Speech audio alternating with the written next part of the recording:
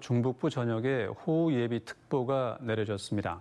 기상청은 오늘 자정부터 내일 새벽 6시 사이에 많은 비가 예상되는 춘천과 화천, 철원과 홍천, 인제와 양구 등 6개 시군과 강원 중북부 산지에 호우 예비 특보를 발표했습니다. 모레까지 강원 내륙과 산지에는 100에서 200, 많은 곳은 300mm 이상의 비가 내릴 것으로 예상됩니다. 특히 강한 비와 함께 돌풍과 천둥, 번개가 치는 곳이 있어 비 피해 주의가 필요합니다.